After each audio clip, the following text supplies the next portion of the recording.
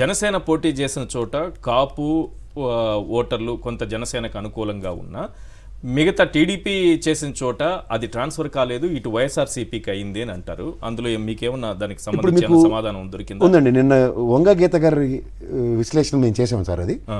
మా మునిబాబు గారు ఇచ్చిన దాంట్లో it's very clear and evident that the law they are ఆరు వేల నాలుగు వందల నలభై ఓట్లతో వంగ గీత గారు ఓడిపోతున్న ఉదంతో నేను చెప్పాను. ఇట్స్ వెరీ క్లియర్ ఎందుకంటే అక్కడ ఓటు బ్యాంక్ అన్నది ఎలా ట్రావెల్ అవుతుంది అన్న దగ్గర కాపు సామాజిక వర్గం దగ్గర దగ్గర డెబ్బై నాలుగు వేలు ఉన్నారండి. వాళ్ళు కన్సాలిడేటెడ్గా వైఎస్ఆర్సీపీ పక్కన కాకుండా వాళ్ళు ఆ, దాన్ని ఏమంటారు? జనసేనకి వేసారన్న ఉదంతం చూసుకుంటే మిగిలిన సామాజిక వర్గంలోని the way they it's got rallied ఆరు వేల నాలుగు ఆరు వందల నలభై ఓట్లతో గీతం గారు వెళ్ళడానికి ఛాన్స్ ఆర్ వెరీ బ్రైట్ ఇంకా గెత్త గెలవబోతున్నారు. అందులో ఉభయ గోదావరి జిల్లాలో ఒక నాడు మీరు ఇంతకుముందు పొరపాటున అన్నట్టున్నారేమో ఓడిపోతారు లేదు ఓడిపోతున్నాడు నేను ఆరు నా విశ్లేషణలో ఆరు వేల నాలుగు వందల ఓట్లతో వంగ గీత గెలవబోతున్నారు? గెలవబోతున్నారు. ఓకే. అది నేను క్లియర్గా ఎట్లా ఎందుకు కాపు కొంతవరకు అటు షిఫ్ట్ అవడం వల్ల మిగతా కులాలన్నీ సామాజిక వర్గాలన్నీ ఇటు ర్యాలీ అయ్యా ఆ, దానికి నేను ఒక చిన్న విశ్లేషణ ఉంది సార్. ఎస్ విత్ డేటా చెప్పగలుగుతాను నేను. నిమిషం నాకు టైం ఇవ్వండి. Find out that so Pithapuram result అనూహ్యంగా ఉండబోతుందా? పవన్ కళ్యాణ్ ఓటమి పవన్ కళ్యాణ్ ఓటమి అంచునే ఉన్నాడు సార్. అక్కడ డిసైడింగ్ ఫ్యాక్టర్ ఆరు వేల ఆరు వందల నలభై ఓట్లు. ఆరు వేల ఆరు వందల నలభై ఓట్లు ఏ విధంగా ఆరు వేల ఆరు వందల నలభై ఓట్లతో ఆరు వందల నలభై ఓట్లు డిసైడింగ్ ఫ్యాక్టర్ ఇప్పుడు. వంగా గీత గారు గెలవబోతున్నారు. ఎట్లా అంటే. చూడండి ఈ డేటా ఇది మా మునిబాబు గారు చేసింది. క్లీన్ క్లోజ్ తీసుకోరా ఇది మా మునిబాబు గారు కెమెరాకి జూమ్ ఇన్. ఇది మార్కెట్లో బాగా ట్రోల్ అవుతుంది కూడా.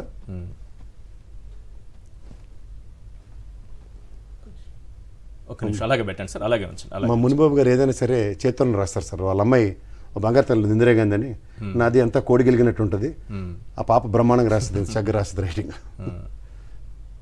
సో వంగా గీత గారి మెజారిటీ కనిపిస్తోంది ఇక్కడ. చూడండి సార్ మీకు డెబ్బై ఆరు వేలు ఉన్న కాపు సామాజిక వర్గంలో ఎయిటీ సిక్స్ పర్సెంటే ఓటింగ్ అయింది. Sixty five thousand three hundred ఓట్లు అనుకుంటే ట్వంటీ ఫైవ్ పర్సెంట్ గీతమ్మకు పడితే సెవెంటీ ఫైవ్ పర్సెంట్ వాళ్ళకి పడ్డాయి. మ్మ్. పదహారు వేల మూడు వందల ఇరవై ఐదు ఓట్లు నలభై ఎనిమిది వేల తొమ్మిది వందల డెబ్బై ఐదు ఓట్లు పవన్ గారికి పడ్డాయి. అలాగే మీరు మిగిలిన బీసీలు చూసుకుంటే శెట్టి బలిజ మ్మ్. పద్మశాలి యాదవులు వాడబలిజ వెలమ అగ్నికుల క్షత్రియ నాయ బ్రాహ్మణ రజకులు పెరికలు కంసాలి కుమ్మర్లు సగర. ఎయిటీ సిక్స్ పర్సెంట్ ఉంటే eighty one thousand seven hundred per ఓట్లు పోలితే మ్మ్. ఫిఫ్టీ ఫైవ్ పర్సెంట్ గీతమ్మకి ఫార్టీ ఫైవ్ పర్సెంట్ పవన్ గారికి పడ్డాయి. అంటే నలభై ఐదు వేల ఓట్లు గీతమ్మకి పడితే ముప్పై ఆరు వేల ఏడు వందలు జగ పవన్ కళ్యాణ్ గారికి పడ్డాయి. అలాగే ఎస్సీ ఎస్టీ సామాజిక వర్గం నలభై ఆరు వేల ఓట్లు eighty six percent పోలైతే thirty nine thousand five sixty votes పోలైతే eighty percent గీతమ్మకి ట్వంటీ పర్సెంట్ పవన్ గారికి పడ్డాయి. Eighty percent? ఎస్ ముప్పై ఒక్క వేల ఆరు వందల అదే ముప్పై ఒక్క వేల ఆరు వందల యాభై ఓట్లు గీతమ్మకు పడితే ఏడు వేల తొమ్మిది వందల పది వాళ్ళకి పడ్డాయి. మ్మ్. అలాగే రెడ్డి సామాజిక వర్గం పదమూడు ఐదు వందలు ఎనభై ఆరు పర్సెంట్ ఉంటే పదకొండు వేల ఆరు వందలు. టోటల్ ఓట్లలో ఎనభై పర్సెంట్ గీతమ్మకి ట్వంటీ పర్సెంట్ పవన్ గారికి పడ్డాయి. తొమ్మిది వేల ఆరు వందలు రెండు వేల ఓట్లతో. అట్లాగే మీకు బ్రాహ్మణ వైశ్య క్షత్రియులు ఐదు వేల ఐదు వందల ఓట్లు ఎనభై ఐదు పర్సెంట్ ఓటింగ్ అంటే నాలుగు వేల ఆరు వందల్లో థర్టీ పర్సెంట్ గీతమ్మకి పడితే డెబ్బై పర్సెంట్ వాళ్ళకి పడ్డాయి. అందులో పద్నాలుగు వందల ఓట్లు గీతంకి మూడు వేల రెండు వందలు పవన్ గారికి పడ్డాయి. ముస్లిం సామాజిక వర్గం రెండు వేల ఓట్లు ఎనభై ఏడు పర్సెంట్ అనుకుంటే పదిహేడు వందల యాభై ఓట్లు పోలైతే నైంటీ పర్సెంట్ గీతమ్మకి పదహారు వందల ఓట్లు పడ్డాయి నూట యాభై పవన్ గారికి పడ్డాయి. టోటల్ లక్ష ఐదు వేల ఐదు వందల డెబ్బై ఐదు ఓట్లు గీతమ్మకి వస్తే తొంభై ఎనిమిది వేల తొమ్మిది వందల ముప్పై ఐదు పవన్ కళ్యాణ్ గారికి వచ్చాయి. టోటల్ రెండు లక్షల నాలుగు వేల ఐదు వందల పది ఓట్లు పోలయ్యాయి ఓకే. ఆరు వేల ఆరు వందల నలభైతో గీతం గెలుస్తుంది. మా మునిబాబు గారి విశ్లేషణ ప్రకారం. మ్మ్. ఇంతేనా? అంతే. సెన్సేషన్ క్రియేట్ చేశారు ఈరోజు సాక్షి స్టూడియోలో కూర్చొని. పవన్ కళ్యాణ్ ఓడిపోతున్నారని అభిమానులందరూ నిరాశపరుస్తున్నారు. వారి అభిమానుల్ని జనసేన వాళ్ళ అభిమానులు ఎప్పుడు సొంతోప్తండాలకు వస్తారు సార్. ఓట్లు మాత్రం వేయరు.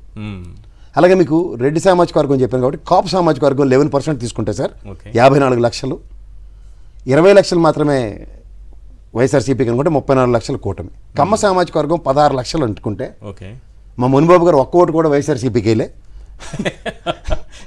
మొత్తం పదహారు లక్షలు వాళ్ళకే. వాళ్ళకే వేసారా ఓకే. అట్లా ఎట్లా కుదురుతారు సార్? సార్ వాళ్ళు పర్సంటేజ్ కింద సంఘటితం అయ్యారు అన్న దగ్గర మేమైతే జీరో పర్సెంట్ కన్సిడర్ చేస్తాం పడవు అన్న దగ్గర. పడవ అని. ఉంటుంది వన్ పర్సెంట్ టూ పర్సెంట్ మీరు కన్సిడర్ చేయలేదు. మేము చేయలేదు సార్. లబ్ధిదారుల ప్రాస్పెక్టివ్లో జీరో కాదు one percent two percent three percent ఉంటుంది కాబట్టి దాన్ని కన్సిడర్ చేయలేదు. నేను అంటే ఒకటి సార్ ఇప్పుడు వైనాట్ వన్ సెవెంటీ ఫైవ్ అన్న దగ్గర మా డేటా మేము విశ్లేషించాలి కదా. ఓకే. ఇప్పుడు ఏ ప్రాస్పెక్ట్లో ఆయన డ్రైవ్ అయ్యారు అన్న దగ్గర ఓటింగ్ పర్సంటేజ్ కానీ లేకపోతే ఓటర్లు ఎలా ఉన్నారో లేకపోతే వివిధ వర్గాల వాళ్ళు ఎలా ఉన్నారో ఎంప్లాయీస్ సెక్టర్స్ ఎట్లా ఉన్నారో లేకపోతే పోలీసులు ఎలా ఉన్నారో ఇవన్నీ చెప్పాలి కదా ప్రజలకి? లేకపోతే ఊరికనే వన్ సెవెంటీ ఫైవ్ అనేసారు కదా. కాకలెక్కలు కాదు కదా. పెద్దానికి ఒక బేస్ ఉంటుంది కదా. నేను సంక్షేమం చేశాను మూడు కోట్ల యాభై ఆరు లక్షలకి ఒక రాష్ట్ర బడ్జెట్ తీసుకెళ్ళి ఇచ్చాను. అన్న దగ్గర ఓ జస్టిఫైడ్ యాక్ట్ ఎక్కడో దగ్గర జరగాలి కదా.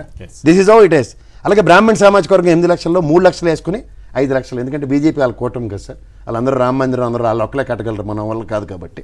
అలాగే వైశ్య సామాజిక వర్గం ఎనిమిది లక్షలు అనుకుంటే మూడు లక్షలే మన దగ్గర ఉండి రామ మందిరం వీళ్ళకి భక్తులే కాబట్టి ఐదు లక్షలు అటుపక్కే కన్సల్టేట్కి వేసుకున్నా క్షత్రియ సామాజిక వర్గం వన్ పర్సెంట్లో నాలుగు లక్షలు అంటే రెండు లక్షలు రెండు లక్షలు వేసాం. సో ఓవరాల్గా ఈ నాలుగు కోట్ల పదిహేను లక్షల మంది ఓటర్లలో అవును. రెండు కోట్ల యాభై రెండు లక్షల మంది లబ్ధిదారులు అనుకోండి లేదా whatever you name it as లబ్ధిదారులు కావచ్చు ఏ రకంగా ఏదైనా చూసుకున్నా ఏదో ఒక రకంగా సానుభూతి. సరే రెండు కోట్ల యాభై రెండు లక్షలు వాలంటీర్ వ్యవస్థ సచివాలయ వ్యవస్థలో మేము చేసిన డేటా ప్రకారం ఓకే. కోటి అరవై నాలుగు లక్షల మంది కోటి అరవై నాలుగు టీడీపీ జనసేన బీజేపీ కోటి కూటమికి. అంటే రెండు యాభై రెండు అంటే పర్సెంటేజ్ చాలా తేడా వస్తుంది కదా సార్?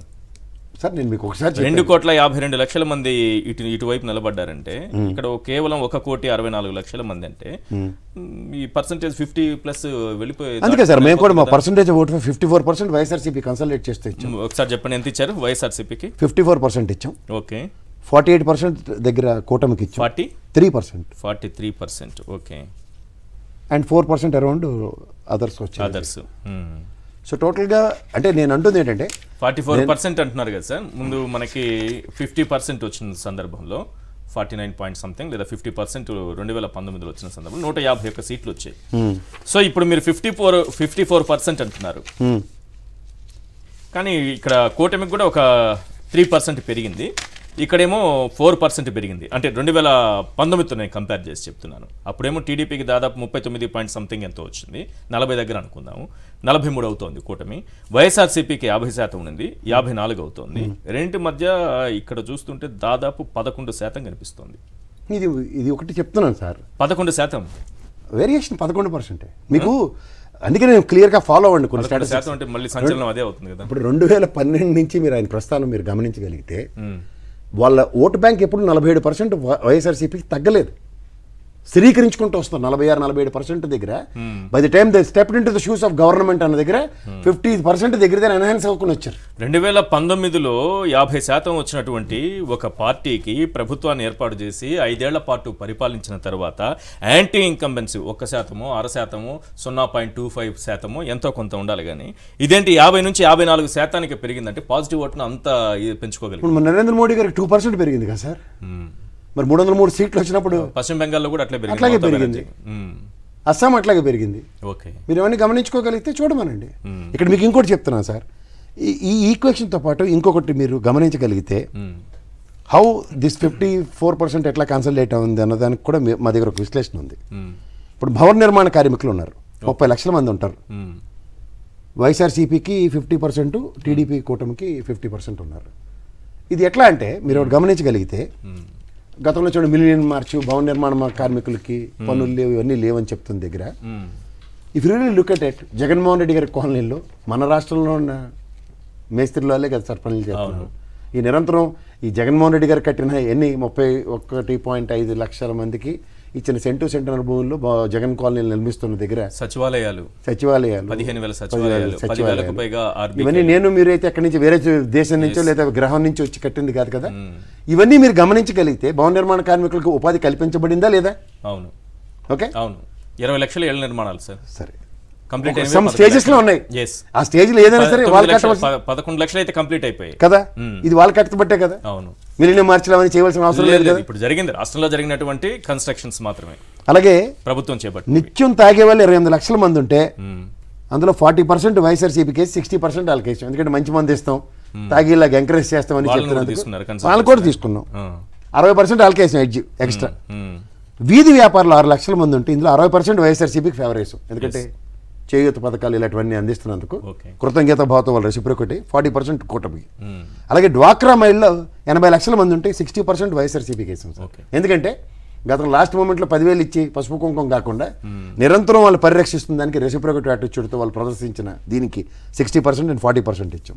అలాగే ఉద్యోగులు ఎనిమిది లక్షల మంది ఉంటే వీళ్ళు రెండు చేతులతో వేస్తారు కదా సార్. తెలిసిన విషయం కదా. అక్కడ ఇచ్చాపురం నుంచి ఇక్కడ కుప్పం దాకా వాళ్ళు చేసి శాసనాలు మనకు తెలుసు కాబట్టి థర్టీ పర్సెంటే వైఎస్ఆర్సీపీకి వేసుకొని సెవెంటీ పర్సెంట్ వాళ్ళకే వేసాం. ఓకే? అంటే మీరు అది సర్వేతోనా ఊహతో వేసింది అది నాకు అర్థం కావట్లేదు.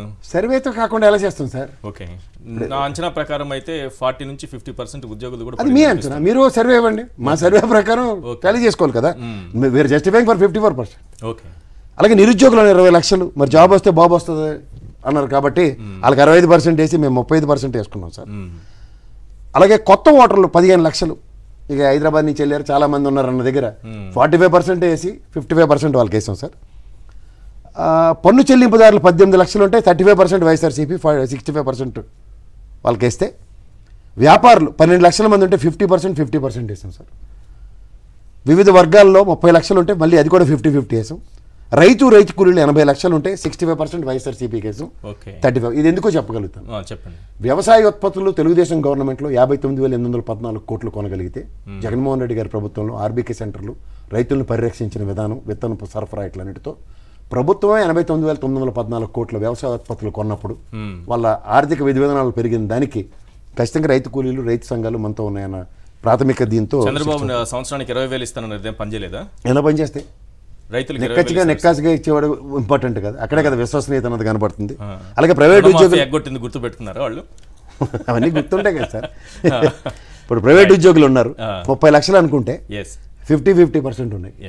సో ఈ విధంగా మీరు ఏ విధంగా ఏ ప్రాతిపదిక మీద చూసుకున్నా సరే సామాజిక వర్గాలు అంచనా ప్రకారం యాభై నాలుగు శాతం వైఎస్ఆర్సీపీకి రాబోతోంది నలభై మూడు శాతం మాత్రమే కూటమికి రాబోతోంది. అంతేనా? ఇప్పుడు మీరు అందులో పెరుగుదల గురించి చెప్తున్నారు. రైట్ కూటమి అన్న ప్రాస్పెక్ట్లో ఇప్పుడు మీరు ఉదాహరణకి మీరు ఎన్న లెక్క ప్రకారం అయితే దగ్గర దగ్గర ఆరు పర్సెంట్ ఉన్న జనసేన పార్టీ ముప్పై తొమ్మిది పర్సెంట్ ఉన్న తెలుగుదేశం ఈ రెండు కలిపితే నలభై ఐదు అవ్వాలి నలభై మూడు నలభై మూడుకి కన్ఫైన్ అవుతుంటే అది పెరుగుదల